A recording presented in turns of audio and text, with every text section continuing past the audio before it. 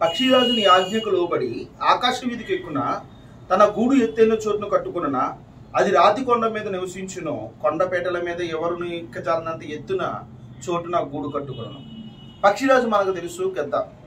అది చాలా ఎత్తులో తన గూడు కట్టుకుంటుందంట. అందరికీ ఎత్తులో ఉండాలనుకుంటుందంట. అందరికీ పొలంలో ఉండాలనుకోదట. అందరికీ ఎత్తులో అందరికీ అందరంత ఈ స్థితిలో ఉండాలనుకుంటుందట అది. అలా అనుకుని అది ఎంత ప్రాక్టీస్ చేస్తుందో ఒకసారి ఆలోచిస్తే మతిపోతుందండి. పక్షిరాజుని ఆజ్ఞకు లోబడి ఆకాశ వీధికి ఎక్కున్నా అని ఉంది. జాగ్రత్తగా రండి. వర్షం వచ్చిందనుకో చాలా పక్షులు తడిసిపోతాయి. పిచ్చుకలు ఉన్నాయంటే గూళ్ళకి వెళ్ళిపోతాయి. పౌరులు ఉన్నాయంటే గూళ్ళకి వెళ్ళిపోతాయి. ప్రతి పక్షి కూడా గూళ్ళకి వెళ్ళిపోతాయి. కానీ పక్షిరాజు అలా కాదు. వర్షం కింద తడవదు. అది ఎక్కడికి వెళ్తా తెలుసా? ఆకాశ వీధికి ఎక్కుతుంది అంటే మబ్బులు పైకి వెళ్ళిపోతుంది ప్రియమైన వాళ్ళరా అలా మబ్బులు పైకి వెళ్ళడానికి అది తన రెక్కలను ఎంతో షార్ప్గా ఉంచుకుంటుంది. ఎంతో షార్ప్గా ఉంచుకుంటుంది.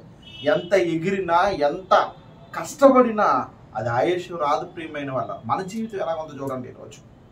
మన జీవితం అరవై డెబ్బై లేక అరవై లేక డెబ్బై సంవత్సరాల ఆయుష్ కాలంలో వాడి వైభవం ఏంటి? ఆయాసము దుఃఖమే. తిని సోమరపోతులో పడుకుంటే ఆయాసం దుఃఖమే తప్ప ఏముంటుంది చెప్పండి?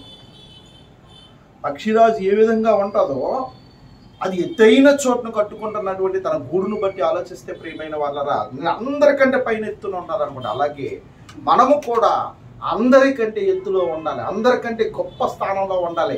మేము భూమిని దాటుకుని ఆకాశాన్ని చేర్చబడిన తర్వాత పరలోకం వెళ్ళాలనే ఆశ ఉండాలి ప్రియమైన వాళ్ళు అంత ఎత్తులో దేవుడు చూడాలనుకుంటున్నాడు ప్రియమైన వాళ్ళు అందరూ పరలోకం రావాలని దేవుడి యొక్క ఆకాంక్ష. పక్షిరాజు తన పిల్లలకి ఇచ్చినటువంటి ట్రైనింగ్ కంటే గొప్ప ట్రైనింగ్.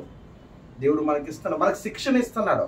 ఆ శిక్షణ బట్టి పరలోకానికి వెళ్ళడానికి సిద్ధపడండి. పరలోకానికి వెళ్ళి ఆ పరలోకంలో మహోన్నతుని యొక్క కుడిపార్శ్వమును కూర్చుని మహోన్నతుని పెద్దలుగా మీరు ఆశీర్వదింపబడాలనేదే దైవ శాఖ నా కోరిక. అందరికీ ప్రత్యేకమైన వందనాలు.